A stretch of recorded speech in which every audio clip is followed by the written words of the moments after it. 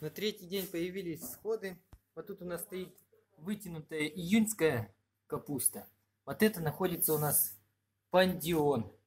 На третий день появились сходы. Сходы еще не стопроцентные. Но я думаю, будет сто процентов. Вот так-то она у нас выглядит. Вот такая это рассада.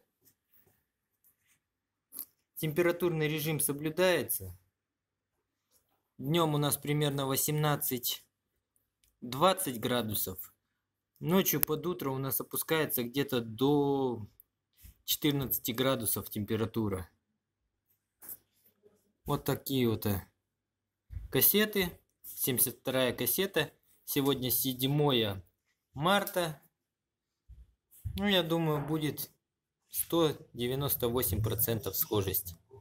Дальше будем снимать, как растет наша рассада, как она себя чувствует. Субстрат у нас торфосмесь. Тут посаженные на следующий день. Это первые полторы тысячи для собственного магазина.